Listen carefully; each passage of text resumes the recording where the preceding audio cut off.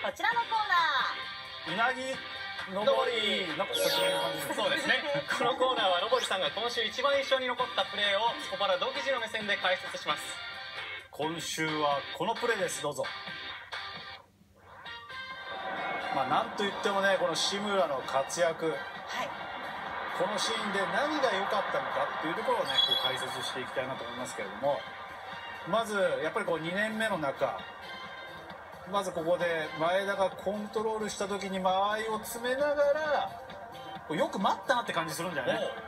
すぐに動いてしまうとなかなか難しいんだけれどもこのコントロールした時にこの左サイドここを消しながらボールへのアプローチ。これねなかなかできないんだよそういうねそのまま行ってしまうんだけれどもコースを消しながら出てった。これが素晴らしかったですね。これ判断ってなかなかできないんだけれどもね。落ち着いてますね。その中ではすごく落ち着いてる、まあ、さらにこの42分のこの1対1のシーン。これ本当ね判断が良くないとダメだしあと思い切りのないと飛び出せない。